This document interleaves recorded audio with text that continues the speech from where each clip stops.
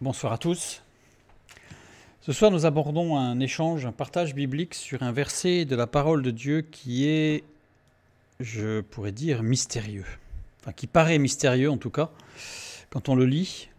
Pour la première fois, ça paraît complètement euh, extraordinaire, quelque chose de presque mythique, mythologique, quelque chose de bizarre, qui n'est pas euh, habituel en tout cas dans le contexte biblique, et qui, on va le voir, est à l'origine de pas mal d'interprétations, de théories, de doctrines, et on va le voir peut-être très rapidement à la fin, d'hérésie, d'hérésie encore aujourd'hui.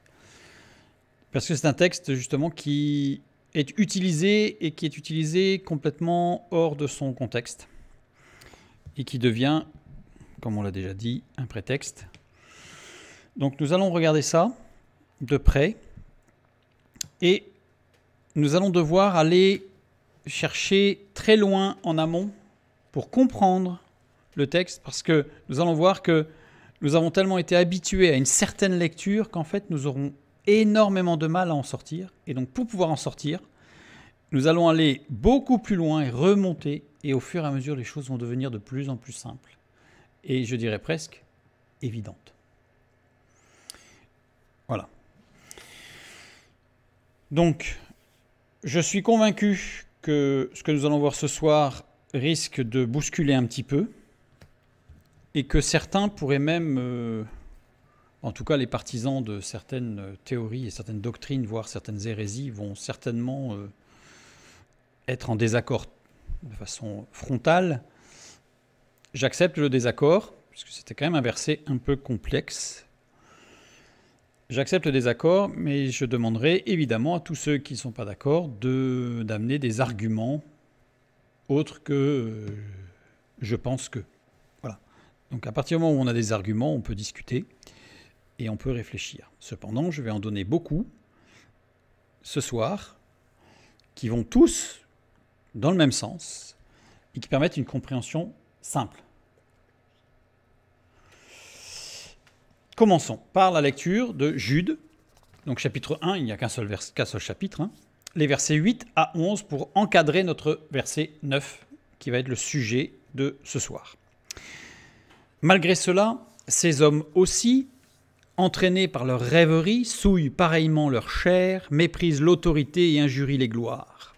Or, l'archange Michel, lorsqu'il contestait avec le diable et lui disputait le corps de Moïse, n'osa pas porter contre lui un jugement injurieux, mais il dit Que le Seigneur te réprime.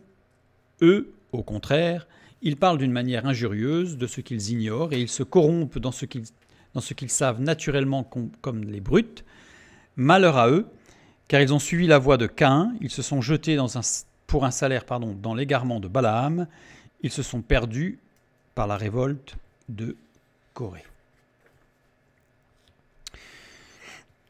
Gardez bien ces derniers mots. Ils se sont perdus par la révolte de Corée.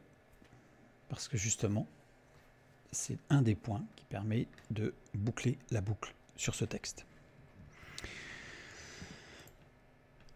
Michel, l'archange Michel.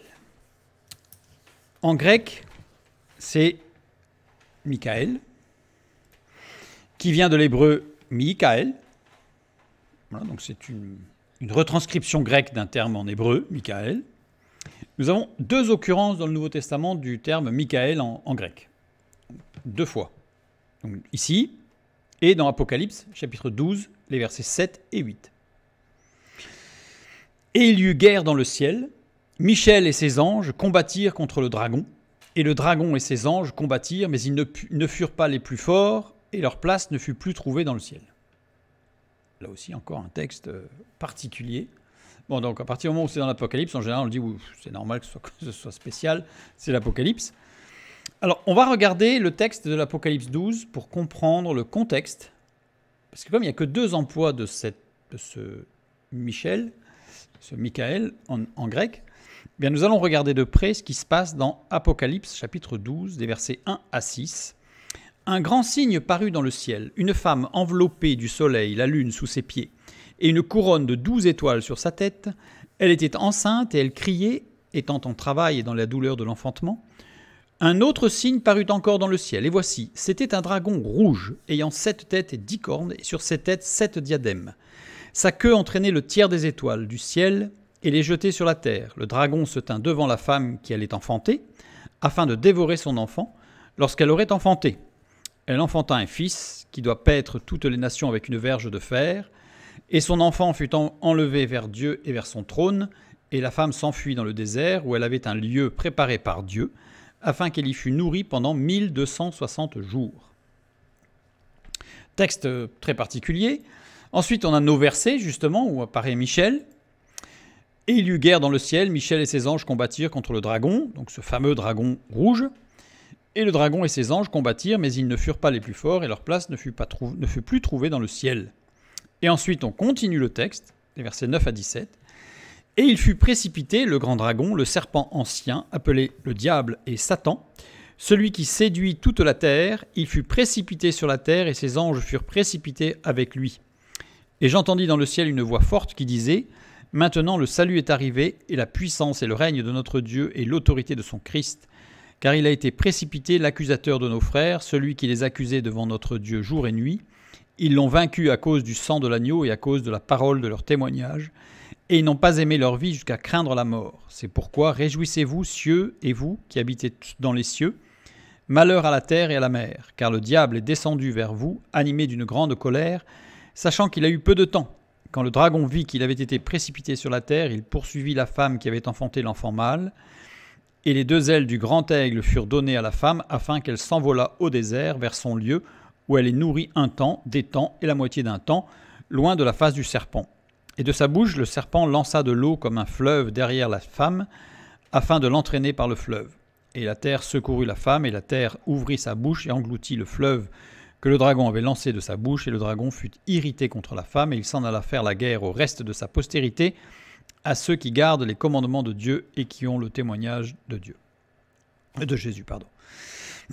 Bon, c'est un texte, on ne va pas rentrer dans les détails, parce que là, il y aurait beaucoup, beaucoup, beaucoup, beaucoup à dire sur la fin des temps. Ce que l'on sait, c'est que le grand dragon rouge de ce chapitre représente l'islam. Alors, je ne vais pas le démontrer, puisque ça a été démontré dans une autre vidéo qui s'appelle L'Europe hier, aujourd'hui et demain, donc que j'invite à aller euh, visionner pour ceux qui ne la connaissent pas. Et donc, où je montre en fait que, euh, selon, selon moi, dans le texte biblique, il est clairement énoncé que ce grand dragon rouge, c'est l'islam. Dans l'islam, le dragon rouge symbolise les combats avec les ennemis. En outre, en islam, voir un dragon rouge crachant des flammes ou du feu en rêve prédit à celui qui fait ce rêve une victoire dans un combat, mais également que quelqu'un d'influent l'entraînera vers la réussite et qu'il réussira dans le domaine financier. Ça, c'est pour corroborer, hein, sachant que toute la démonstration est dans l'autre vidéo. Corroborer à cette affirmation. La femme, c'est Israël. Enfin, c'est Israël qui va être protégé par les ailes. Donc, dans une autre vidéo, on montre que les ailes qui lui sont données sont les ailes, ce sont les États-Unis qui vont, qui vont aider Israël en ce temps. Enfin, tout ça, c'est tout ça, c'est assez explicite en fait. Et donc voilà, lecture des prophéties de la fin des temps, partie 1, où j'explicite que dans la femme de Apocalypse 12 est bien Israël, parce que la femme dont, qui est présentée dans Apocalypse 17 n'est pas Israël, mais l'Europe. Donc il y, a vraiment tout un, tout un jeu en fait euh, entre ces deux femmes et, tout ce qui se passe avec euh, les, les bêtes, les dragons, etc. Bon, c'est pas le sujet de ce soir. Donc ce que l'on voit ici, en tout cas, c'est qu'on a une description géopolitique d'une situation qui certes sera très tendue, évidemment, puisqu'on sent que les choses se tendent de façon, euh, je dirais, euh, dramatique. Donc la première partie des six premiers versets décrivent une situation géopolitique particulière avec des entités politiques, des pays, des nations, des, idéologies, des philosophies, ce qu'on veut, mais on a une situation, une, photographie d'une description géopolitique particulière de la fin des temps. Maintenant, je prends les derniers versets du chapitre 12, c'est-à-dire, on va prendre les, versets qui encadrent notre texte, qui parlent de Michel. Et il fut précipité le grand dragon. Ce grand dragon, bah, c'est le grand dragon rouge, donc a priori c'est l'islam. Hein, puisque ça ne va pas changer euh, dans le même contexte. On, ne change pas tout d'un coup d'interprétation ou de symbolisme, évidemment. Une continuité dans le symbolisme. Le serpent appelé le diable. Diabolos. diabolos, le mot diable, diabolos en grec, existe bien avant le christianisme. C'est un mot qui aujourd'hui a été euh, christianisé un peu à outrance et spiritualisé à outrance, puisque le mot diable, diabolos en grec, qui existait pendant des siècles avant le christianisme, désigne quelque chose de particulier, qui désigne quelqu'un qui est calomniateur. C'est-à-dire que si on dit un philosophe grec, ou même à l'époque de Jésus, quelqu'un qui disait tu es un diable, ça n'avait aucune connotation par rapport à, un être, euh, à celui qui s'est révolté contre Dieu, etc. Ça voulait dire tu es un calomniateur, ou tu désignes celui qui provoque le mécontentement par une prise de position d'arbitrage. Pas forcément juste d'ailleurs, mais qui se positionne et, ça, ça, ça provoque le mécontentement, la révolte.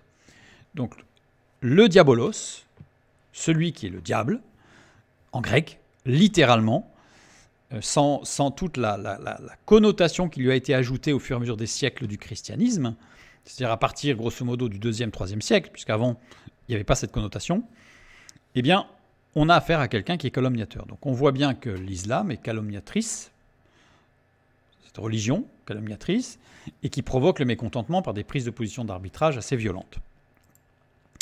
Satan, donc appelé le diable et Satan. Satan, c'est Satanas. Satanas qui vient de Satan en, hébreu, donc c'est une fois de plus la translittération d'un terme hébreu en grec, Satan, qui veut dire celui qui pervertit. Donc c'est-à-dire qu'on a une double définition. On nous dit que le dragon, le grand dragon, l'islam, est, calomniateur, c'est un calomniateur, provoque le mécontentement, donc les révoltes, et perverti. Évidemment, l'islam, on l'a déjà un petit peu. On en a un peu parlé de temps en temps, mais on, voit que une lecture approfondie du Coran amène à, bien voir qu'en fait, nous avons des textes bibliques pervertis, détournés, transformés, pour arriver à une perversion complète de, de ce que peut être un message et de ce que peut être le message de Dieu. Il fut précipité celui qui séduit toute la terre fut précipité. Je prends juste quelques mots, c'est pour bien montrer le contexte et pour déjà commencer à, essayer de, déplacer les chapes d'interprétation qui, ont été, qui ont été posées et qui empêchent très souvent de voir le texte tel qu'il est écrit. Parce qu'il fut précipité sur la terre, c'est balo en grec. Balo, ça veut dire éparpillé. Donc littéralement, il aurait plutôt fallu traduire par et il fut éparpillé, dispersé sur la terre, ce qui n'est pas du tout la même chose, parce que la notion de précipité donne l'impression d'une chute violente, par limite suite à une défaite violente dans une bataille, alors que là c'est il fut éparpillé, sans cette notion de violence et de chute, de chute violente en tout cas, éparpillé ou laisser tomber une chose sans se préoccuper de l'endroit de la chute. Donc c'est, une notion ballot qui est beaucoup moins violente en fait que celle de précipiter sur la Terre. On a l'impression qu'il est tombé très haut et qu'il s'est euh, euh, écrasé sur la Terre, alors que ce n'est pas du tout le cas. Ensuite, donc c'est répété, car il a été précipité, l'accusateur de nos frères, donc l'accusateur, on a bien le diablos, hein, le diabolos, le diabolos qui est l'accusateur des frères, Adelphos, Adelphos qui veut dire frère de sang ou appartenant au même peuple. Celui qui les accusait devant notre Dieu. Les, c'est bien les frères. Nous sommes d'accord. Les Adelphos. Ils l'ont vaincu à cause du sang de l'agneau. Ils ne sont pas les anges. Ce sont bien les frères, les Adelphos. C'est-à-dire les frères de sang ou qui appartiennent au même peuple, le peuple de Dieu. Donc là, clairement, il n'est pas fait mention d'un combat angélique. Il est parlé d'un combat avec des frères, donc des frères en Christ, qui se sont battus contre le grand dragon l'accusateur de nos frères, celui qui les accusait devant notre Dieu jour et nuit, ils l'ont vaincu, ses frères, pas les anges, les frères. Ils l'ont vaincu à cause du sang de l'agneau, et ils n'ont pas aimé leur vie jusqu'à craindre la mort. C'est évident que ce n'est pas des anges là dont il est fait mention, puisque les anges ne vont pas mourir dans un combat euh, face aux démons. Donc, le texte biblique montre bien qu'il s'agit ici d'un combat particulier, dont on ne va pas rentrer dans les détails, mais qui désigne des frères et des sœurs en Christ, c'est-à-dire des adelphos, donc le peuple de Dieu. Nous avons ici la description, une description géostratégique, c'est-à-dire qu'on a eu le début du chapitre qui nous présente, qui nous fait une description géopolitique pour placer un petit peu les différents acteurs de ce qui va se passer. La fin du texte nous montre une description géostratégique, c'est-à-dire qu'on est bien sur Terre. On a bien le grand dragon, c'est l'islam, il n'est pas dans, les cieux, il passait pas, voilà, qui est appelé l'accusateur, etc. Il est éparpillé sur toute la Terre, c'est ce qu'on peut en voir aujourd'hui d'ailleurs, s'éparpille de plus en plus, qu'il est de plus en plus étalé sur la surface de la Terre, et il attaque les frères, lesquels, enfin les frères et sœurs, donc l'Église, le corps de Christ, lesquels frères et sœurs vont combattre, on va pas rentrer dans le combat là, dans ce qui se passe, mais vont combattre et ils vont être vainqueurs. Donc là, on a une description, dans les deux cas, dans les six premiers versets, puis dans les versets qui terminent le chapitre, on a une description très, je dirais entre guillemets, terrestre. Certes, géopolitique et géostratégique, mais il n'y a, pas de, grands euh, combats spirituels comme l'entendent certaines doctrines d'aujourd'hui qui veulent des combats euh, à la Hollywood euh, avec des, des éclairs partout. Donc on est très, je dirais, pragmatique et terrestre. Donc on va continuer maintenant. Alors, on a nos versets qui sont qui sont pris entre deux là, on pris un sandwich là entre deux là. Et il y eut guerre dans le ciel. Michel et ses anges combattirent contre le dragon. Le dragon, c'est qui? C'est l'islam. Une fois de plus, ça n'a pas changé entre le début et la fin du chapitre. En plein milieu, tout d'un coup, c'est pas euh, autre chose. C'est l'islam. Michel et ses anges combattirent. Alors là, on se dit, bah là, là, on est vraiment dans un combat spirituel. Bon. Alors le mot ange, agélo, ou agelos, il manque un S là ici, parce que ça se finit par un sigma final, donc c'est bien agelos. Littéralement en grec, agelos, ce sont les annonceurs, les messagers, les intermédiaires. C'est-à-dire celui qui apporte une nouvelle, qu'elle soit bonne ou mauvaise. Il apporte une nouvelle, ça s'appelle un agelo. Voilà, tout simplement. Ça veut dire que pourrait-il s'agir d'une description spirituelle avec des protagonistes terrestres? Est-ce qu'on peut imaginer, puisqu'on a un protagoniste qui est terrestre, c'est l'islam, avec des, gens qui sont euh, euh, comment, très engagés, euh, voire extrémistes dans, cette religion. Donc, est-ce qu'on peut imaginer que là, il y aurait une sorte de, de, guerre bizarre entre, avec certains qui auraient des armes à feu et d'autres qui seraient des anges? Enfin, on, voit bien que il y, y, a un problème. Donc, c'est la question. Parce qu'on va pas, c'est pas le sujet, on va pas étudier à fond ce texte parce qu'il y aurait beaucoup à dire. On passerait la soirée rien que sur ces, deux versets 7 et 8. Je voulais juste soulever le, attirer l'attention et soulever l'interrogation sur le fait qu'on a un chapitre 12 qui manifestement est entièrement consacré à une situation euh, géopolitique, géostratégique, terrestre pendant une période particulière, que l'on va voir être la deuxième période de la Grande Tribulation, rapidement tout à l'heure. Est-ce que ces deux versets, tout d'un coup, parleraient d'autre chose? Alors, ma première pensée est de dire non, on a une certaine cohérence des textes bibliques, même si certains pensent que le texte est complètement décousu, surtout dans l'Apocalypse. Non, il y a évidemment une, logique, hein, une logique qui vient de Logos, Logos qui est Christ. Donc il y a une certaine logique dans tout ça. Donc on va aller la chercher, la logique. Donc je vais juste montrer que, voilà, c'est une première question. On a vu tout à l'heure donc que Michael, en grec, vient d'un mot en hébreu, Michael, traduit par semblable à Dieu. Souvent on nous dit, voilà, vous prenez un dictionnaire, ou Michael, ça veut dire semblable à Dieu ou comme Dieu. Michael vient de trois mots. Là, vous prenez un dictionnaire biblique, n'importe, ils vont dire ça vient de trois mots. Mi, qui elle. Donc là, c'est dans tous les dictionnaires, vous le trouverez. Mi, ça veut dire quiconque. Quiconque. Qui désigne un lien de causalité. C'est-à-dire que qui, ça veut dire qu'il y, a un lien de causalité, il y a un, il y a un parce que, il y a quelque chose au départ qui va entraîner quelque chose à la fin. Qui, comme le CAF est pointé, c'est écrit de cette façon-là. Et la première CAF, moule qui reçoit et communique indifféremment toutes les formes. Et le deuxième lettre, Yod, désigne l'effet d'une force liante et assimilante. Et le dernier, El, Dieu. Dieu. Ça veut dire que si je prends sémantiquement Michael, ça ne veut pas dire semblable à Dieu, ça, veut dire, ça désigne quelqu'un de quelconque qui a reçu par la puissance de Dieu et par une action divine la grâce. Il a reçu la grâce. C'est quelque chose quelqu'un de quelconque qui, par une action divine et un engagement personnel, bien entendu, a reçu quelque chose. C'est ce que ça veut dire, Michael. Michael, c'est celui qui est quelconque, mais qui va devenir un serviteur de Dieu ou une servante de Dieu.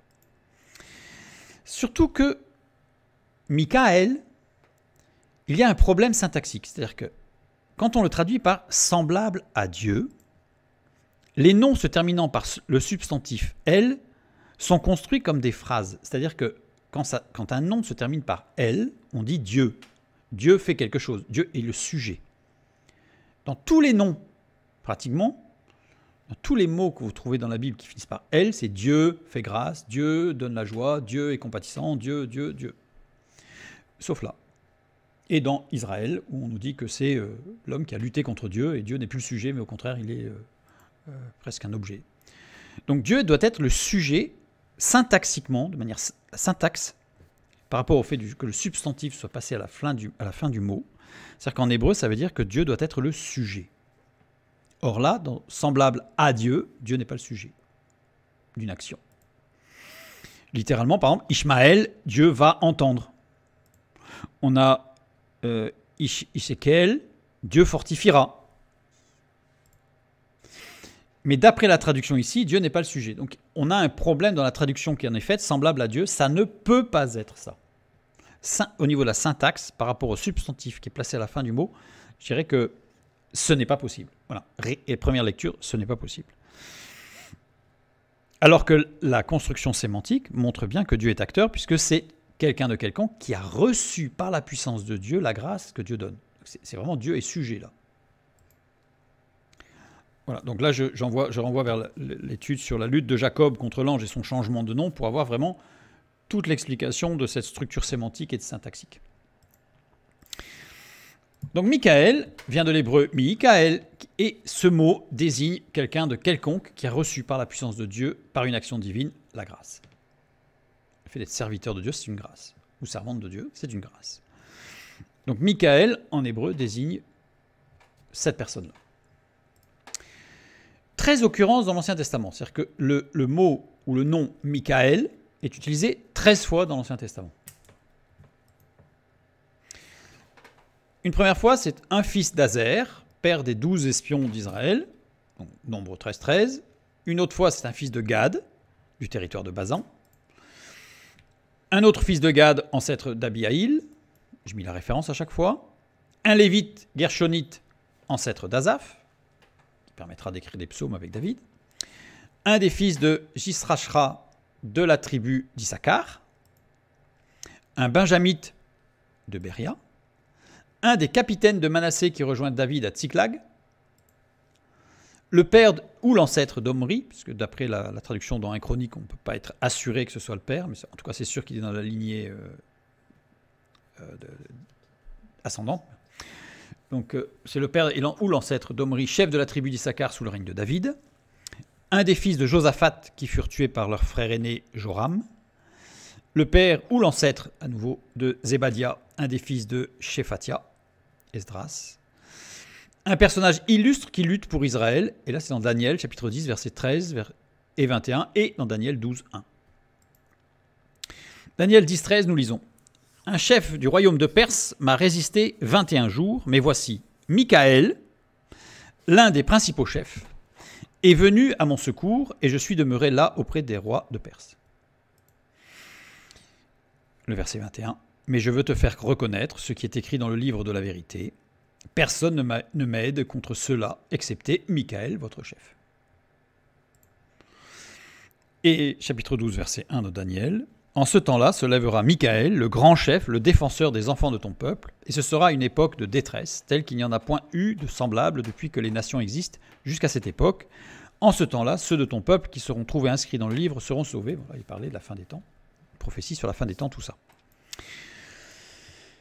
on va prendre les textes de Daniel, puisque dans ce, je reviens un petit peu en arrière, voilà, mais dans, dans ces trois textes, tous les commentaires tous les commentateurs et tous les commentaires vont vous dire que Michael, c'est un archange, le chef des anges, et qu'il y a une lutte extraordinaire avec Daniel, et que le prince de Perse est un démon qui a résisté pendant 21 jours à Daniel, et qu'il y a eu un combat, etc. Donc ça, ce sont les commentaires classiques. Et on va regarder un petit peu sur quoi s'appuient ces commentaires pour affirmer une telle chose. Tout d'abord, on va regarder le contexte de ces trois textes de Daniel. Rapidement, Daniel est un haut fonctionnaire de la cour et il est un interprète des songes. Il interprète les songes du roi de Babylone avant et après la prise de Babylone par les Mèdes et les Perses en moins 539. C'est-à-dire que Daniel est un jeune homme qui a été euh, arraché de sa terre en Israël et qui a été envoyé à Babylone en exil. Il a été reconnu pour sa sagesse et l'Esprit de Dieu qui, était en lui, on connaît le récit. Et il, est, euh, il a été comme euh, conseiller privilégié à la cour du roi de Babylone.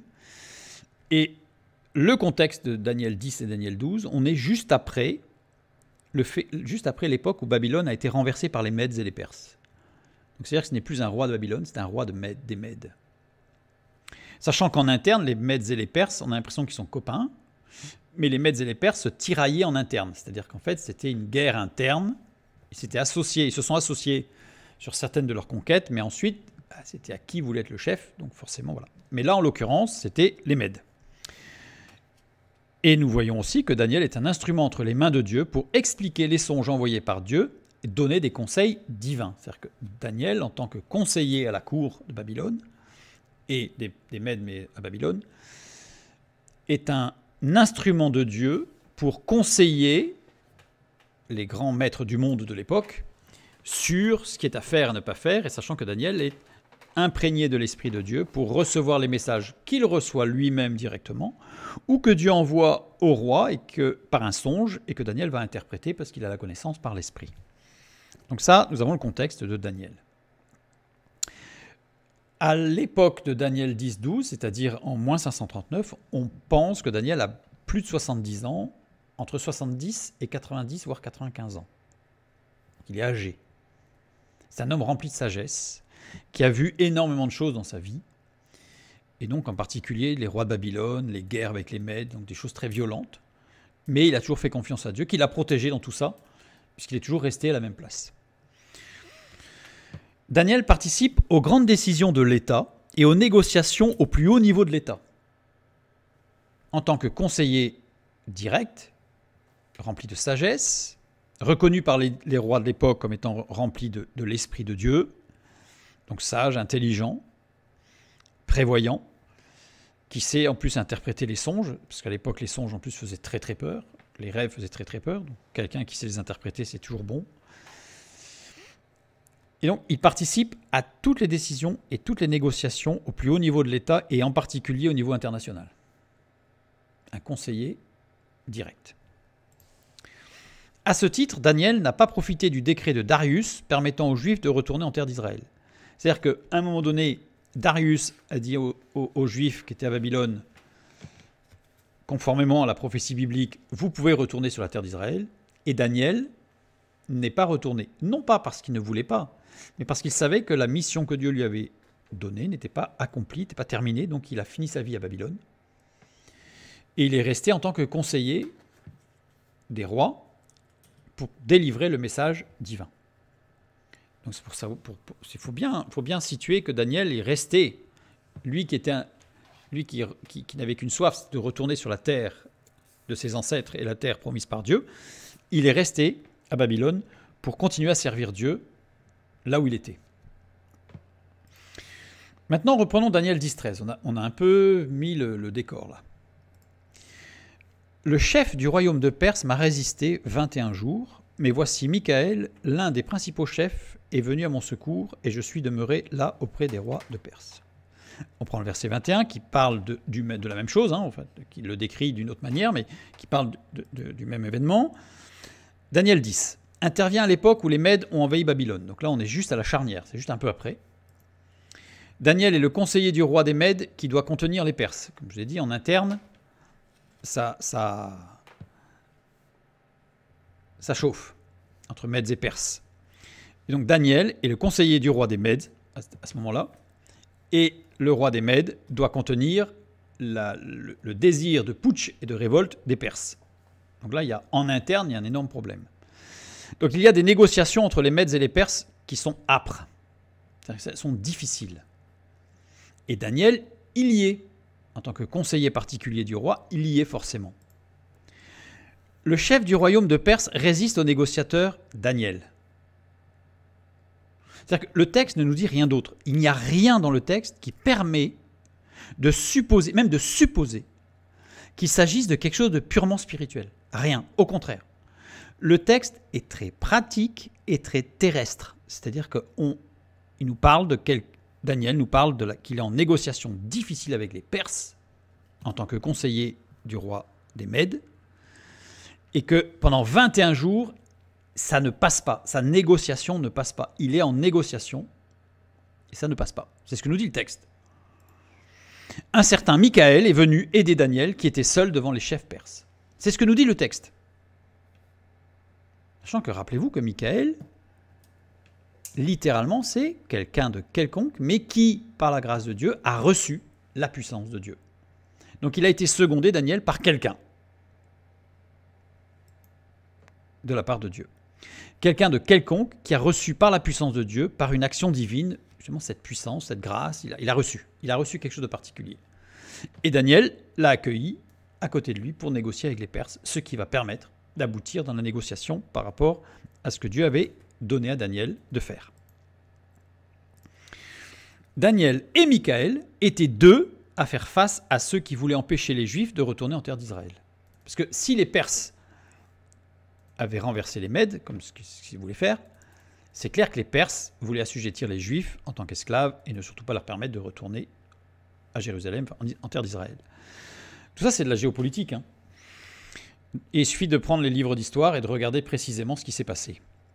Donc ce texte, en aucun cas, en fait, je, dis littéralement, j'ai regardé, il n'y a, rien qui nous dit qu'il s'agit d'autre chose que de quelque chose de purement euh, stratégique, géostratégique, géopolitique. Par contre, il y a des traductions, il y a des conjugaisons de verbes qui nous montrent que ce texte a un aspect prophétique certain. C'est clair. Ça, par contre, c'est clair. Maintenant, prenons Daniel 12, 1. En ce temps-là se lèvera Michael, ce fameux Michael, le grand chef, le défenseur des enfants de ton peuple, et, ce sera une époque de détresse. alors là, on est vraiment dans la prophétie. Hein. Voilà. Donc il est parlé de quelqu'un, de quelconque, qui recevra une puissance de Dieu.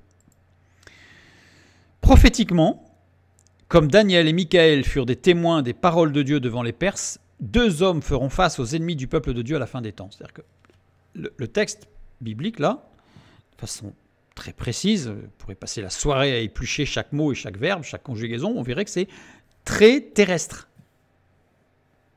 Par contre, il y a des aspects prophétiques qui sont soulignés de façon très importante dans le texte et qui montrent que ce qui s'est passé là se produira plus tard, en particulier à la fin des temps. Donc prophétiquement, comme Daniel et Michael furent des témoins des paroles de Dieu devant les Perses, deux hommes feront face aux ennemis du peuple de Dieu à la fin des temps, et nous avons évidemment cette correspondance dans l'Apocalypse, chapitre 11, verset 3, où il nous est dit que je donnerai à mes deux témoins le pouvoir de prophétiser, revêtus de sac pendant 1260 jours.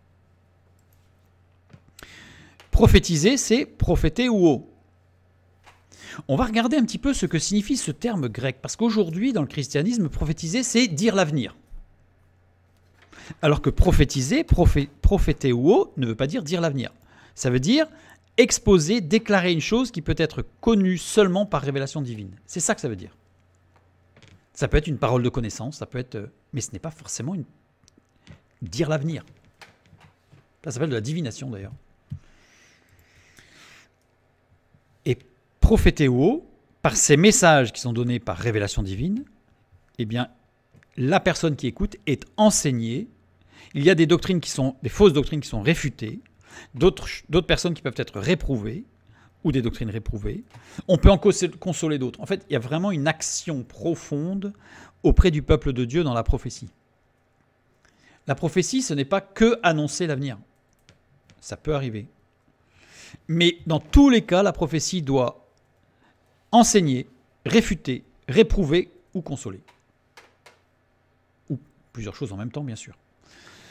Donc, je donnerai à mes deux témoins le pouvoir d'enseigner, de réfuter, de réprouver et de consoler.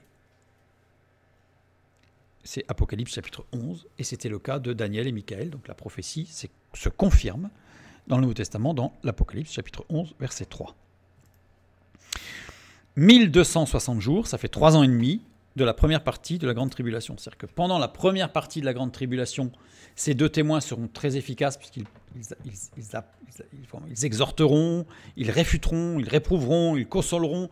Donc ça sera toute l'action de l'Esprit au travers d'eux, évidemment, dans cette première partie de la grande tribulation, qui sera une période de paix et sécurité sur terre, etc. Et le texte de Apocalypse 12, que nous avons lu tout à l'heure, qui suit Apocalypse 11, tout est logique, concerne la deuxième partie de la grande tribulation, où Israël devra être caché dans les déserts et dans des parties particulières du monde que Dieu a préparées.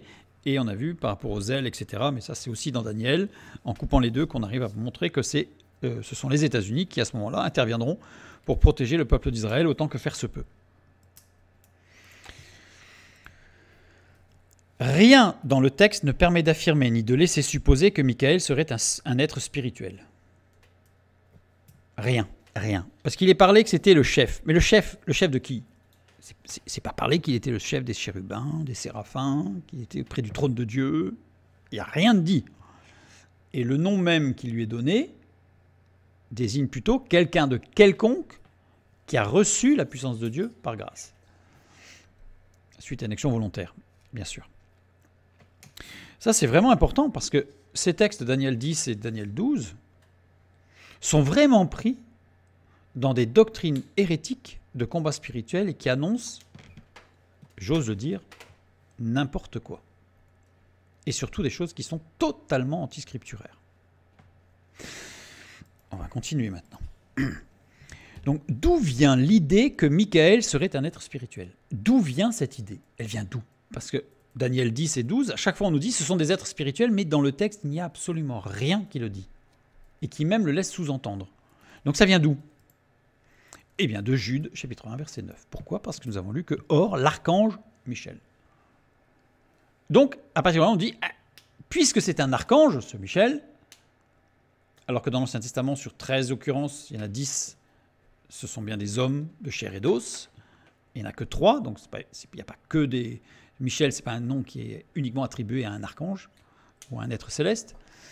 Donc ici, on a Jude 1.9 qui, qui, sur lequel ces commentateurs s'appuient pour dire que dans Daniel, ce Michael, c'est le chef des anges.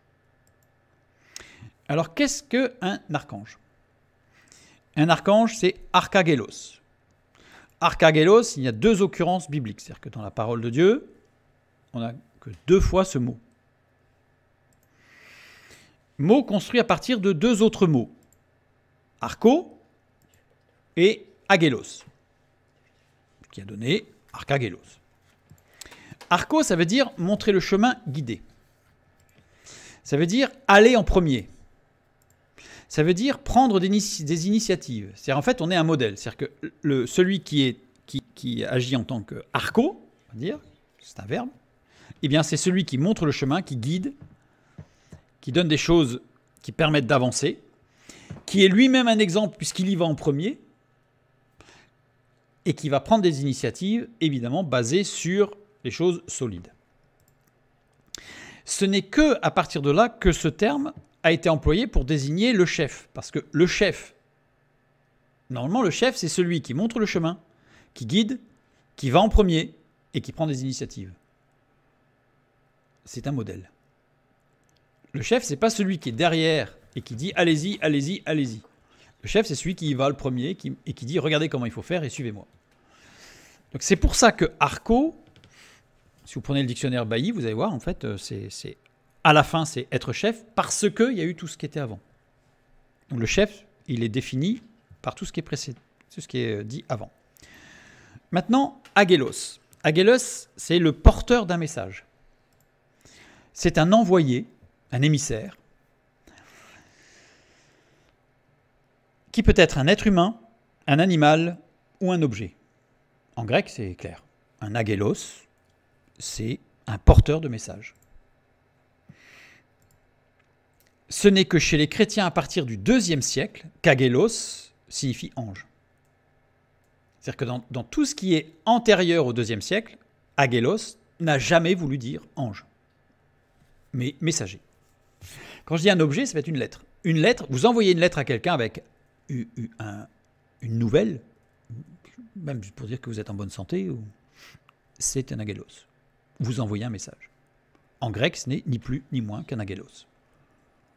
Vous envoyez un coffret avec dedans un, petit message ou, une lettre, ou c'est un agélos.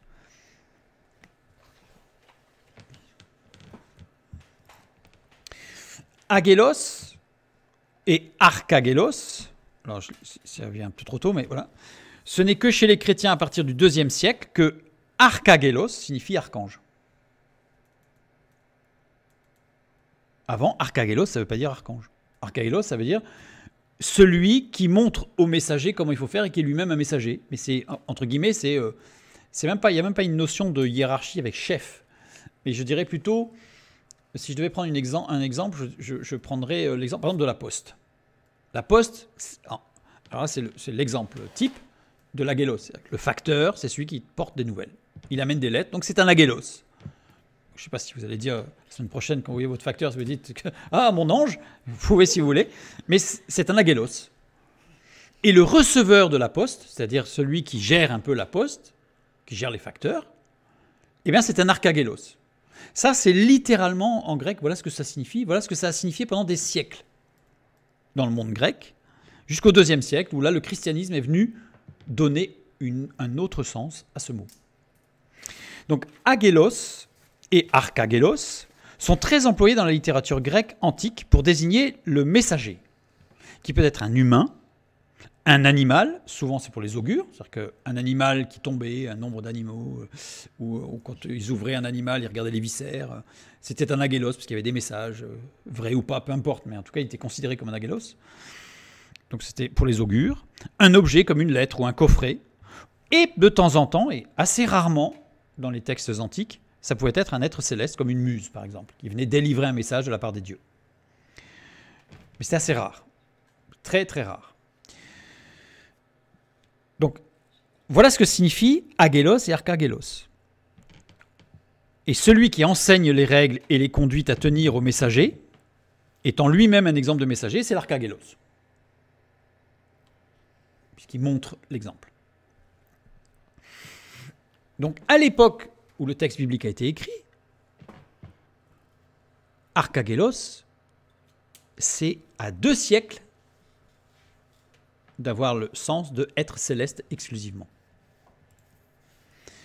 La deuxième occurrence de archagélos, c'est dans 1 Thessaloniciens chapitre 4 verset 16, que nous n'allons pas étudier, je ne fais que le citer, car le Seigneur, lui-même a un signal donné à la voix d'un archagélos et au son de la trompette de Dieu descendra du ciel et les morts en Christ ressusciteront premièrement. Donc là c'est euh, la fin des temps, l'enlèvement de l'Église, etc. Agélos et archagélos ne désignent pas exclusivement des êtres célestes. Je ne dis pas que agélos et archagélos ne désignent pas du tout les êtres célestes. Je dis pas exclusivement. C'est-à-dire que ça désigne tout type de messager, vivant ou pas. À partir du moment où il y a un message, vous avez un livre, c'est un archagélos, il y a un message dedans, c'est un archagélos. C'est un agélos. Hébreux 13, 1 et 2, nous lisons Persévérez dans l'amour fraternel, n'oubliez pas l'hospitalité, car en l'exerçant, quelques-uns ont logé des anges sans le savoir. Ils ont logé qui? Des agélos. L'amour fraternel, Philadelphia, désigne un amour envers des frères et sœurs, des êtres de chair et d'os.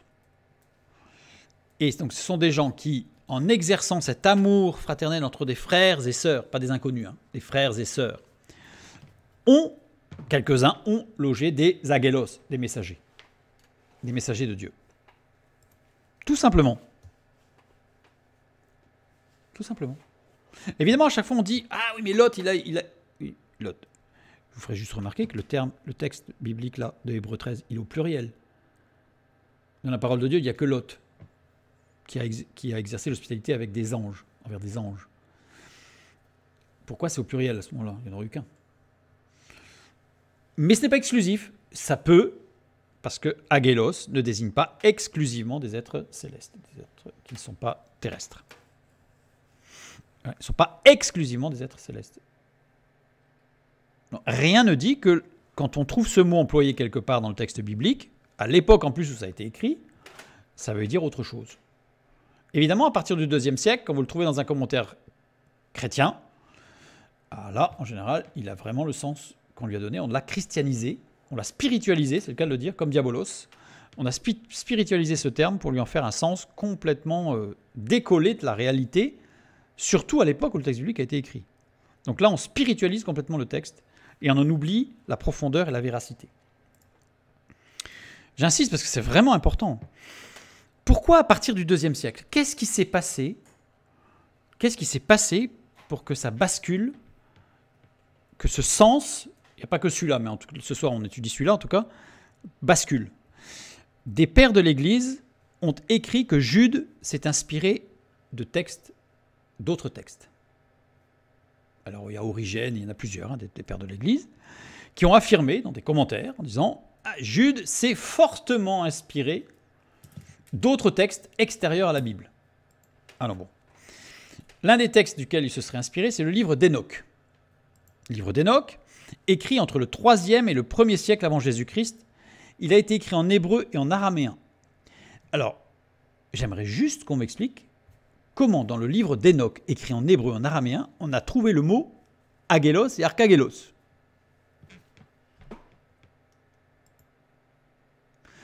Parce que le livre d'Enoch parle de chef d'ange que les pères de l'Église ont associé à Arkagelos.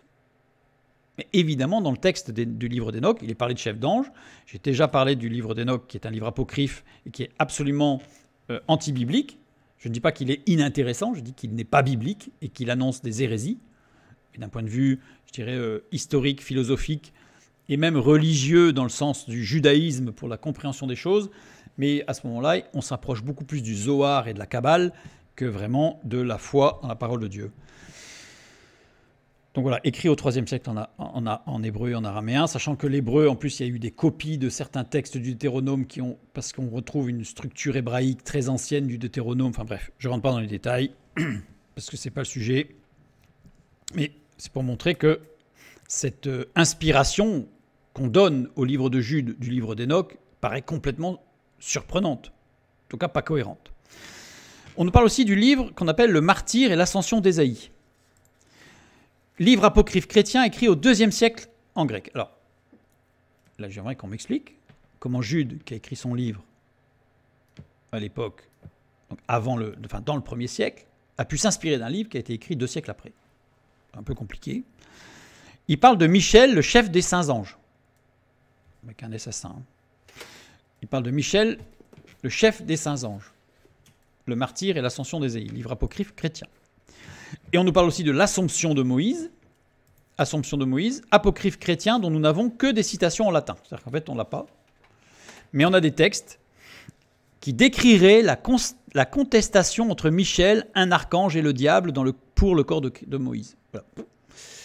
Donc Origène particulier, mais il y en a d'autres qui disent si si, Jude, si si Jude cite un passage de l'Assomption de Moïse, qui est un apocryphe chrétien, mais nous n'avons que des citations en latin. Donc on a, il faut se baser sur des commentateurs qui affirment des choses sans qu'on puisse vérifier quoi que ce soit. Argumentation circulaire, c'est-à-dire que on part d'une idée, on avance dans l'argumentation, et c'est l'idée qu'on énonce au départ comme point de départ de la soi-disant euh, démonstration, est en réalité la conclusion à laquelle on veut arriver. Puisqu'on nous dit que, si, si, si, si, il s'appuie sur le livre d'Enoch, 3 siècle, mais il écrit en hébreu, comment il a pu trouver Arcargelos là-dedans Impossible. Si, si, si, il s'appuie sur le martyr d'Ascension d'Ésaïe qui a été au, au siècle. Oui, mais sauf que l'épître de Jude, elle a été écrite bien avant. Donc avant l'Apocalypse, 100 après Jésus-Christ.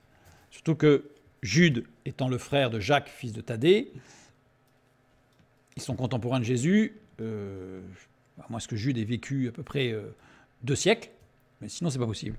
Évidemment que ce n'est pas possible. Voilà. Donc comment est-ce comment est-ce qu'on a pu affirmer de telles choses, ce n'est pas cohérent du tout. Du tout, du tout, du tout. Ce n'est pas biblique et ce n'est même pas logique d'un point de vue historique. Je reviens sur notre verset 9 de Jude. Maintenant, on a vu tout le contexte de Archange Michel. On en reviendra à la conclusion. On va reprendre tout ce qu'on a vu à la conclusion. Maintenant, on va parler de disputer le corps de Moïse. Le mot corps. Le corps de Moïse. Ce fameux corps. Somatos. Somatos en grec. Somatos s'écrit aussi somatos. totalement euh, indifférenciable au niveau euh, auditif. C'est-à-dire que somatos ou somatos, la seule différence, il y a une toute petite différence, c'est que dans un cas, il y a un petit accent sur le omicron, et dans l'autre cas, il n'y a pas d'accent sur le omicron final. Je suis pas sûr, il y en a qu'un omicron, sur le omicron du mot. On a 31 occurrences, j'ai mis 33 entre parenthèses puisqu'on a un, un, dérivé de somatos qui est somati, a aussi un accent, enfin qui n'a pas d'accent, je veux dire. Donc voilà, si on prend vraiment somatos tel qu'il est écrit, on a 31. Si on prend le dérivé somati, on en a 33, deux de plus. Et somatos, avec un accent sur le omicron, on a 4 occurrences, donc 4 emplois. Et dans les 4 occurrences, avec un accent sur somatos, il est associé dans les textes bibliques à soma, avec un accent sur le alpha. Vous avez vu? Petit accent. Donc ça veut dire que, et ça c'est un point extrêmement important, parce qu'on aurait pu dire qu'il y avait juste une petite erreur ou une petite euh, particularité syntaxique euh, de certains auteurs. Or, le détail va jusqu'à associer dans les textes ce petit détail sur les dérivés de somatos ou soma, soma, somatos. Ça, c'est vraiment important. Alors, on a Matthieu chapitre 6, verset 22. L'œil est la lampe du corps, donc j'ai mis deux couleurs hein, pour bien montrer. Si ton œil est en bon état, tout ton corps sera éclairé. Bien. Je prends un exemple. Maintenant, somatos. Somatos sans accent sur le omicron, en bleu, en bleu ciel, est associé dans le texte biblique à soma sans accent sur le alpha. Donc ça veut dire que à chaque fois, alors il faut, être précis, les 31 occurrences ne font pas appel systématiquement aux deux mots dans le même contexte, mais à chaque fois qu'il y a les deux mots, la différence est bien faite. Donc c'est un détail qui est très très important. J'ai pris du temps, mais j'ai tout vérifié. 1 Corinthiens 12, 12 par exemple. Car comme le corps est un et a plusieurs membres, et comme tous les membres du corps, malgré leur nombre, ne forment qu'un seul corps, ainsi en est-il de Christ. Prenons les, tableaux, enfin, le tableau des déclinaisons du, mot, du nom soma, en grec. Le voilà. On va pas s'amuser à tous les lire. Hein. Ce sont toutes les déclinaisons, nominatif, vocatif, accusatif, génitif, datif, au singulier, pluriel, duel, etc. J'en ai pris plusieurs, de plusieurs ouvrages, de plusieurs sources. Et vous remarquez qu'il n'y a jamais d'accent sur le A, ni sur le O, sur le Omicron, enfin sur le alpha, ni sur le Omicron, donc de soma et de somatos. Jamais. Jamais. Normalement, il n'y a pas d'accent sur la dernière lettre de soma. Normalement, il n'y en a pas. Alors pourquoi il y en a sur 4 textes et sur 31 textes, il n'y en a pas? Alors ceux où il n'y en a pas, on pourrait se dire, c'est normal. C'est logique. Par contre, sur les autres, c'est pas normal. Alors, somatos ou somato Avec ou sans accent Alors, somatos, sans accent, littéralement, c'est ceux qui forment un ensemble bien coordonné. Somatos, avec un accent, désigne un corps de chair compact. Distinction que l'on retrouve dans les textes de philosophes grecs, c'est-à-dire que normalement au niveau de la grammaire, on n'a pas d'accent, on n'a jamais d'accent sur le omicron de somatos ou sur le alpha de soma, sauf que même les philosophes grecs, j'ai regardé, même les philosophes grecs font quand même cette distinction et parfois ils mettent un accent et parfois ils n'en mettent pas.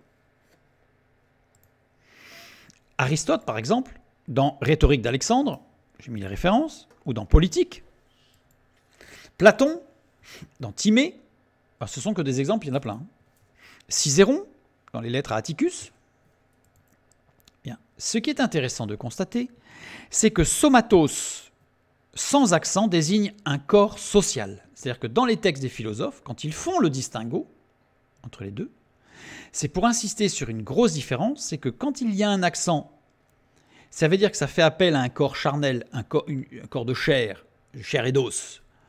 Et quand il n'y a pas d'accent, c'est-à-dire qu'il désigne un corps social, un rassemblement d'individus.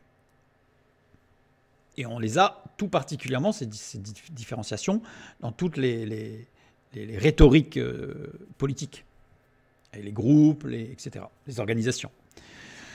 Donc ça veut dire que si je prends le texte grec sans accent, désigne un corps social, rappelez-vous. Donc en bleu, c'est plus simple. En vert, avec un accent, c'est toujours le corps charnel, physique. Pourquoi dans la Bible en serait-il différemment? Pourquoi est-ce que dans la Bible, puisqu'il y a ce, distinguo alors que grammaticalement il n'y aurait pas lieu de l'avoir, pourquoi est-ce qu'il n'y aurait pas tout simplement le même distinguo? Occurrence biblique de somatos sans accent, c'est-à-dire corps social. On va prendre un petit peu de temps, mais vous allez voir que ça va être très très très intéressant. Jean chapitre 2 verset 21. Mais il parlait du temple de son corps, Jésus. Jésus parlait du temple, quand il disait détruisez ce temple et je le rebâtirai, il parlait du temple de son corps. Il parlait déjà du temple du corps qui était l'Église, corps de Christ. Il ne parlait pas de son corps physique. D'ailleurs, son corps physique n'a pas été détruit puisque aucun de ses os n'a été cassé, n'a été brisé. Certes, il est mort, nous sommes d'accord. La vie lui a été retirée, la vie physique. Mais son corps n'a pas été détruit. Donc, bibliquement, il y avait un problème. Mais il n'y a pas de problème, puisque le fait qu'il n'y ait pas d'accent sur somatos, on voit bien qu'il parle du corps de l'Église, le corps de Christ. Il parlait du corps de Christ qu'il rebâtirait en trois jours. À sa résurrection, c'était le temps de l'Église qui commence. Romains 7, 4. De même, mes frères, vous aussi, vous avez été par le corps de Christ mis à mort en ce qui concerne la loi. Il ne s'agit pas du corps physique de Jésus, mais du corps de Christ, l'Église. Romains 7, 24. Misérable que je suis, qui me délivrera du corps de cette mort? Alors là, on va s'arrêter un tout petit peu. Égal misérable que je suis, qui me délivrera du corps de cette mort? Tou, tou, qui veut dire, est un génitif singulier, désigne quelque chose qui appartient à la mort et qui est une partition et dont l'origine vient de la mort. C'est-à-dire que qui me délivrera du corps de cette mort, c'est-à-dire du corps qui provient de la mort et qui est une partie de la mort. Corps désigne le corps social issu de la mort, le monde, puisque somato sans accent, ça ne désigne pas que l'Église, c'est un corps social. Le fait qu'il y ait ou après, ça veut dire qu'il désigne le corps formé par la mort. Mon corps, nous savons, le texte biblique nous dit que mon corps, notre corps physique, soma, avec un accent, est une création de Dieu. Nous lisons dans Psaume 139, versets 13 à 16. C'est toi qui as formé mes reins, qui m'as tissé dans le sein de ma mère. Je te loue de ce que je suis une créature si merveilleuse. Tes œuvres sont admirables et mon âme le reconnaît bien. Mon corps n'était point caché devant toi lorsque j'ai été fait dans le lieu secret, tissé dans les profondeurs de la terre, quand je n'étais qu'une masse informe tes yeux me voyaient. Et sur ton livre étaient tous inscrits les jours qui m'étaient destinés, avant qu'aucun d'eux n'existât. Comment pourrions-nous associer le fait que l'apôtre Paul pourrait dire qui nous délivrera de ce corps qui, provient de la mort, alors que d'autres textes bibliques nous disent que notre corps nous vient d'une création merveilleuse de Dieu? Il y avait un problème, là il n'y a plus de problème, puisque c'est somato sans accent ça veut dire qu'il est bien défini qui me délivrera de, cette, de ce monde, le monde, avec toutes ses influences. Évidemment, c'est le Saint-Esprit. Romains 8, 13. Si vous vivez selon la chair, vous mourrez. Mais si par l'Esprit vous faites mourir les actions du corps, vous vivrez. Si. Ei. Ei qui veut dire puisque, et non pas si. Puisque. Mais puisque par l'esprit vous faites mourir les actions du corps. Le corps, on a vu que c'était. C'est parti très vite, mais on a vu que c'était le corps social. Le monde. On est encore dans le monde. Qui fera mourir les actions du corps? Si je ne le comprends pas dans ce sens, si je le comprends dans le sens de soma avec un accent sur le alpha, alors ça voudrait dire que je devrais faire mourir toutes les actions physiques de mon corps physique. Ça n'a pas de sens.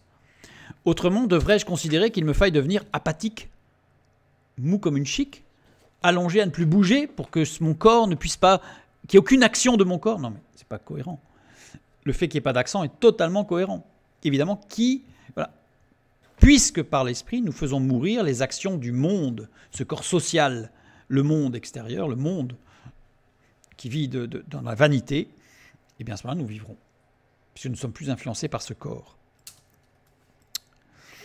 Verset 23. Nous aussi, nous soupirons en nous-mêmes en attendant l'adoption, la rédemption de notre corps, corps de Christ. Rédemption, apolutrosis, apo, séparation, euh, l'outrosis, rançon pour libérer un captif, donc c'est bien la rédemption. Lisons les versets qui précèdent. On va lire tout Romains 8, 20 à 23. Car la création a été soumise à la vanité, non de son gré, mais à cause de celui qui l'y a soumise, avec l'espérance qu'elle aussi sera affranchie de la servitude de la corruption pour avoir part à la liberté de la gloire des enfants de Dieu. Or nous savons que, jusqu'à ce jour, la création tout entière soupire et souffre les douleurs de l'enfantement, et ce n'est pas elle seulement, mais nous aussi, qui avons les prémices de l'Esprit, nous aussi nous soupirons en nous-mêmes en attendant l'adoption, la rédemption de notre corps, le corps de Christ. Nous attendons que le corps de Christ ne soit plus assujetti à la vanité, mais qu'il soit affranchi de la servitude de la corruption dans la gloire éternelle. Oups. 1 Corinthiens 7, 4. Alors ce texte aussi est très intéressant. Nous lisons La femme n'a pas autorité sur son propre corps, mais c'est le mari. Et pareillement, le mari n'a pas autorité sur son propre corps, mais c'est la femme. Et là, c'est bien somato sans accent, et pas avec un accent. Surtout que propre, il n'y est pas. La femme n'a pas autorité sur son corps, c'est le mari. Et le mari n'a pas autorité sur son corps, c'est la femme. Son, idios. Idios qui est de la sphère privée qui désigne les siens. Ça veut dire que la femme n'a pas autorité sur son foyer, mais c'est le mari. Et pareillement, le mari n'a pas autorité sur son foyer, mais c'est la femme. Voilà ce que, signifie littéralement ce texte. Et fort heureusement, vous allez voir pourquoi. Parce que sinon, on est obligé de contorsion et de gymnastique intellectuelle et spirituelle pour réussir à expliquer ce texte. Parce qu'il semble difficilement explicable et défendable que le corps, soma avec un accent, soit sous l'autorité du conjoint. Et quelle autorité Parce que le mot qui est employé pour dire autorité sûre, c'est exousiazo, qui veut dire liberté, faculté de faire une chose sûre. C'est-à-dire que ça voudrait dire que la femme n'a pas la liberté de faire une chose sur son corps, mais le mari, lui, a toute liberté de faire ce qu'il veut sur le corps de sa femme. Et inversement.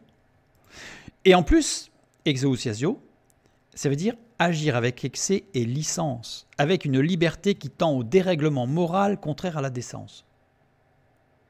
C'est-à-dire que si, si je ne comprends pas ce mot, si je mets un accent sur somato, somatos là, dans ce texte, ça veut dire que ça voudrait dire, ça voudrait dire littéralement que l'homme peut faire subir à sa femme toutes sortes de choses, même immorales, en dehors de la décence, et inversement. On voit que ça ne tient pas et que ce serait très difficile à justifier. Alors évidemment, on pourrait arguer que d'autres textes montrent qu'il faut un équilibre dans l'amour, etc. Mais le texte biblique est autosuffisant, et là il est très clair. C'est tout simplement qu'il y a une autorité sur le foyer qui est partagée entre l'homme et la femme, sachant que, attention, cette autorité est aussi, il y a aussi cet aspect de licence dans le foyer, mais il y a une, autorité, une responsabilité partagée. Et là, il y a d'autres textes qui viennent complémenter ça, évidemment. Mais on ne, on ne peut pas le comprendre autrement. Et littéralement, il est bien compris comme ça, il est bien écrit comme ça. Oups, encore en avance. 1 Corinthiens 10, 16. Le pain que nous rompons n'est-il pas la communion au corps de Christ? Ben on a compris. Quand on mange le pain de la scène, on ne, on ne communie pas avec le corps physique ensanglanté de Jésus-Christ on communie avec l'assemblée, avec le, corps social qu'est l'Église. Évidemment. C'est pourquoi celui qui mangera le pain ou boira la coupe du Seigneur indignement sera coupable envers le corps et le sang du Seigneur, le corps, l'Église. On n'est pas coupable envers le, le, corps euh, euh, déchiré sur la croix de, de Jésus-Christ, évidemment, évidemment. Mais littéralement, c'est clair. 1 Corinthiens 12, 12. Car comme le corps, comme je vous disais tout à l'heure, c'est les 33, c'est les deux qui séparent. Le corps ici, c'est somati, parce qu'il y a une déclinaison particulière. Car comme le corps est un avec plusieurs membres, et comme tous les membres du corps, malgré leur nombre, ne forment qu'un seul corps, ainsi en est-il de Christ. Et là, on voit bien que c'est le corps de Christ, l'Église. Et c'est explicité dans les versets qui suivent, 1 Corinthiens 12, 15. Si le pied disait Parce que je ne suis pas une main, je ne suis pas du corps, ne serait-il pas du corps pour cela? Alors là, il prend des exemples du corps physique, mais il ne met pas l'accent pour bien montrer qu'il met j'allais dire il met l'accent, euh, il ne met pas d'accent euh, sur le mot pour insister voilà, sur la différenciation, mais ne formant qu'un seul corps. Il ne met pas d'accent. Le verset 16, et si l'oreille disait, c'est la même chose, hein, voilà. Le verset 22, mais bien plutôt les membres du corps qui paraissent être les plus faibles sont nécessaires. Il ne parle pas, il parle pas de, parties de notre corps qui seraient les plus faibles, euh, on pourrait imaginer la main, le nez, euh, le pied, l'orteil, euh, le nombril, je ne sais pas. Non. Le mot ici somato sans accent désigne le corps de Christ. Mais bien plutôt, les membres du corps de Christ qui paraissent être les plus faibles sont nécessaires. Le verset 23. Et ceux que nous estimons être les moins honorables du corps de Christ, nous les entourons d'un plus grand honneur. 2 Corinthiens 5, 8. Nous sommes pleins de confiance et nous aimons mieux quitter ce corps, l'Église, et demeurer auprès du Seigneur. C'est-à-dire que dans certains cas, ce texte biblique nous montre que dans certains cas très particuliers, clairement établis et définis par ailleurs, évidemment, il vaut mieux quitter une assemblée locale dans laquelle nous serions en danger parce qu'il y aurait des hérésies que d'y rester. C'est ce que nous dit l'apôtre Paul de Corinthiens 5, 10. Il nous faut tous comparaître devant le tribunal de Christ afin que chacun reçoive selon le bien ou le mal qu'il aura fait, étant dans, dans le corps de Christ. C'est pas le mal qu'il aura fait euh, en, tant, en tant que chair, mais c'est étant dans le corps, dans l'Église, le mal qu'il aura fait au corps de Christ. C'est pour cela aussi que nous... Alors euh, là, c'est parce qu'il y a... Je suis obligé de... Voilà. Prenons le texte dans son ensemble, 2 hein, Corinthiens 5, 9 et 10, pour bien le comprendre. C'est pour cela aussi que nous nous efforçons de lui être agréable, soit que nous demeurions dans ce corps, soit que nous le quittions. Car il nous faut tous comparaître devant le tribunal de Christ afin que chacun reçoive selon le bien ou le mal qu'il aura fait étant dans son propre corps. Son tou, génitif singulier, désigne quelque chose qui appartient au corps, l'Église, qui est une partition et dont l'origine vient de Christ, c'est le corps de Christ. Donc étant dans l'Église. Et ici, par contre, soit que nous demeurions dans ce corps, et là, il y a un accent. Et là, il parle bien du fait de, soit que nous le quittions, il parle bien du fait de que nous restions sur terre ou que nous voilà. Nous allons rencontrer Christ et nous nous efforçons de lui être agréable, même si nous devons en mourir. S'il était question de notre propre corps physique, nous aurions eu auto et somato avec un accent. Or, nous avons somato étant dans son corps sans accent. Et tou et non pas autos. Donc le texte grec montre clairement qu'il s'agit que nous sommes dans le corps de Christ, l'Église. 2 Corinthiens 10, 10. Car dit-on, ces lettres sont sévères et fortes, mais présent en personne, là c'est écrit somatos, il est faible et sa parole est méprisable, là on comprend bien, car dit-on, ces lettres sont sévères et fortes, mais, voilà, mais dans l'assemblée, dans le corps de Christ, il est faible. On l'a compris quand on dit présent en personne. Mais voilà le sens précis. De Corinthiens 12, 2. Je connais un homme en Christ qui fut il y a 14 ans ravi jusqu'au troisième ciel.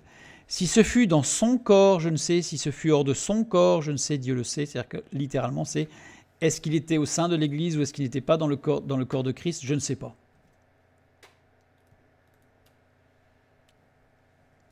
Tout simplement. Il n'y a pas de métaphysique là. D'autant plus que celui dont il parle, en fait, c'est lui-même. et que c'était à l'époque où il était en pleine, euh, pas, réflexion, puisqu'il s'était converti, mais après le chemin de Damas, il a eu un temps où il, a été, il s'est mis à part pour vraiment confirmer cet appel de Dieu et cette connaissance qu'il avait de Christ. Cette, cette, mise à part, 14 années dans le désert d'Arabie, qui a été coupé en deux, parce qu'il a été faire un tour, il a été voir les disciples entre les deux. Bref, tout ça c'est explicité aussi dans les textes. Donc 2 Corinthiens 12, 3. Et je sais que cet homme, si ce fut dans son corps ou dans son corps, c'est le, même contexte. Hein. Éphésiens 4, 12. Pour le perfectionnement des saints en vue de l'œuvre du ministère et de l'édification du corps de Christ. on a bien compris, mais il n'y a pas d'accent. Il n'y a, pas, a pas une seule fois où le contresens est possible. Éphésiens 5, 23. Car le mari est le chef de la femme, comme Christ est le chef de l'Église, qui est son corps. Évidemment, l'Église, c'est le corps de Christ. Éphésiens 5, 30 parce que nous sommes membres de son corps, nous sommes membres du corps de Christ, l'Église, et non pas nous sommes membres, évidemment, du corps physique. Colossiens 18, il est la tête du corps de l'Église, voilà, Colossiens 24, et ce qui manque aux souffrances de Christ, je l'achève en ma chair pour son corps, qu'est l'Église, logique. Colossiens 2.11, et c'est en lui que vous avez été circoncis d'une circoncision que la main n'a pas faite, mais de la circoncision de Christ, qui consiste dans le dépouillement du corps de Christ de la chair. C'est-à-dire que le corps de Christ doit se dépouiller. L'Église ne doit pas avoir des, des, résurgences de la chair. C'est-à-dire que l'Église ne doit pas être, on ne doit pas retrouver au sein de l'assemblée, au sein du corps de Christ, des éléments qui soient, qui viennent du monde, de la chair. On ne devrait pas. Colossiens 2, 23. Ils ont à la vérité une apparence de sagesse, en ce qu'ils indiquent un culte volontaire de l'humilité et le mépris du corps de Christ. Hébreux 10, 10. C'est en vertu de cette volonté que nous sommes sanctifiés par l'offrande du corps de Christ, du corps de Jésus-Christ, l'Église, une fois pour toutes. Une petite explication rapide. Le mot offrande, parce que là on a l'impression que c'est le corps de Christ, le corps physique. Hein. Alors qu'il n'y a pas d'accent, donc ce n'est pas le corps physique, c'est le corps social. Ici, l'offrande, c'est prosphora. Prosphora qui veut dire se présenter. Nous sommes sanctifiés par l'Église qui se présente à Christ. C'est ce que ça veut dire littéralement. Qui se présente, pas qui s'offre en sacrifice, mais qui se présente à Christ. L'Église, corps de Christ, ne se présentera qu'une seule fois devant le Fils de Dieu. Je donne ça, relisez tout le passage et vous allez comprendre pourquoi il est parlé du sacrificateur qui se présente plusieurs fois, etc. Alors que l'Église, elle se prépare et qu'elle elle ira à la rencontre de l'époux une fois. Pas deux, une fois. Jacques 2,16, et que l'un d'entre vous leur dise Allez en paix, chauffez-vous et vous rassasiez, et que vous ne leur donniez pas ce qui est nécessaire au corps de Christ. À quoi sert-il? C'est-à-dire qu'en fait, si on fait des actions sociales, mais qu'on néglige le corps de Christ, il y a un problème. Et enfin, Jude 1,9. Or, l'archange Michel, lorsqu'il contestait avec le diable et lui disputait l'assemblée de Moïse, n'osa porter contre lui un jugement injurieux il n'est pas parlé ici du corps physique de Moïse, il est parlé du peuple de Dieu, le peuple conduit par Moïse. Tout simplement. Je vous dis en introduction, il fallait partir de loin pour arriver à bien comprendre tout le contexte du texte. Et les mots sont très précis. Reprenons maintenant juste les versets 8 et 9. Malgré cela, ces hommes aussi, entraînés par leur rêverie, souillent pareillement leur chair, méprisent l'autorité et injurient les gloires. Or, le modèle des messagers, l'archange, Archangelos, c'est bien le modèle des messagers, lui-même messager d'ailleurs, Michel, sachant que ce Michel, en grec reprenant un terme hébraïque, désigne quelqu'un de quelconque qui a reçu par la puissance de Dieu et par une action divine la grâce, lorsqu'il contestait avec le calomniateur qui provoque le mécontentement par une prise de position arbitraire, c'est le diabolos, et lui disputer l'assemblée de Moïse n'osa pas porter contre lui un jugement injurieux, mais il dit que le Seigneur te réprime. Le modèle des messagers Michel désigne un conducteur du peuple d'Israël. C'est un conducteur, c'est un messager, celui qui délivrait le message. Littéralement, Archangelos, ça ne veut pas dire autre chose. Et, Michael, ça ne veut pas dire autre chose. Lui disputer, le verbe disputer, c'est dialegomai dialegomai, qui veut dire dialoguer, discourir, argumenter. Il n'y a pas de bataille là. Hein. on dialogue. On argumente. Conjugué à la voix moyenne déponente. Ça veut dire qu'il est conjugué par et qui désigne quelqu'un qui est investi, qui, agit au nom du Saint-Esprit qui l'a euh, imprégné, je dirais. Il s'agit bien d'un conducteur, il ne s'agit pas d'un ange. Il n'y a aucun texte biblique qui nous dit qu'un ange est baptisé du Saint-Esprit. Qu'un ange est rempli du Saint-Esprit. Un ange reçoit les directives divines de Dieu et il agit en tant que serviteur de Dieu. Mais il n'y a aucun texte qui permet de dire qu'un ange est rempli de l'Esprit.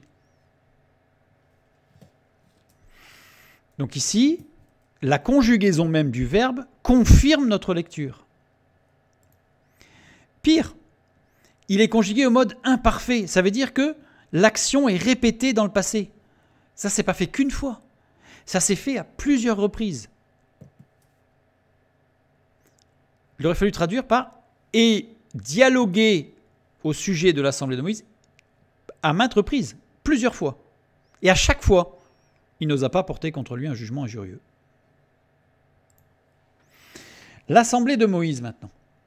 L'Assemblée de Moïse, il n'y a qu'une seule période où le peuple hébreu est appelé le peuple de Moïse.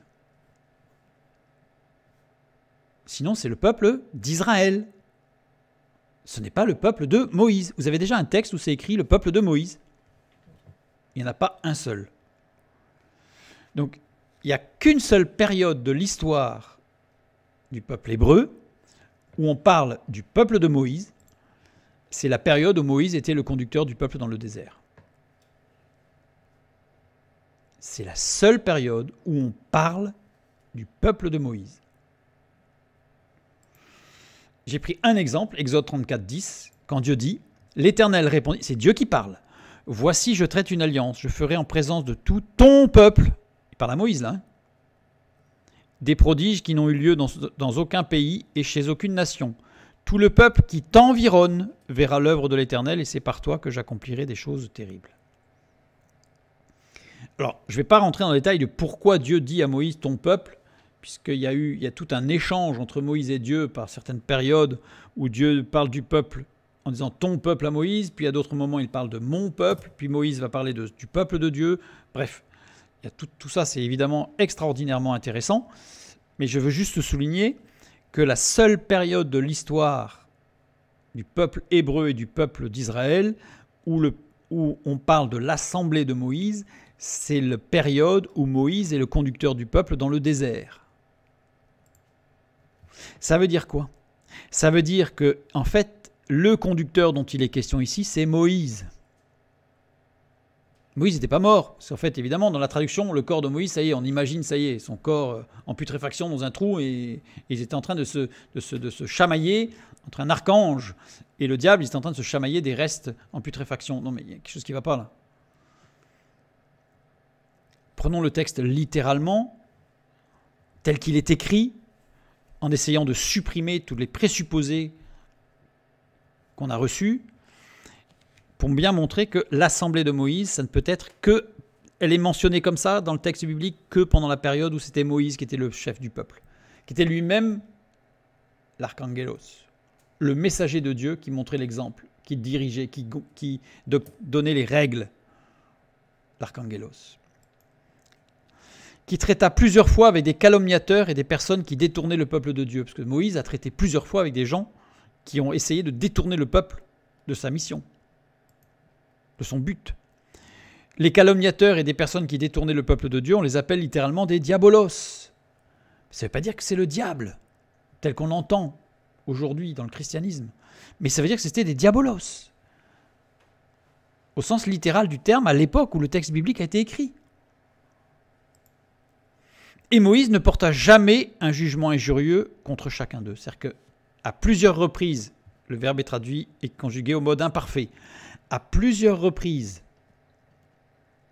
il y a eu des calomniateurs et des gens qui ont essayé de détourner le peuple, parfois qui ont réussi à détourner une partie du peuple d'ailleurs.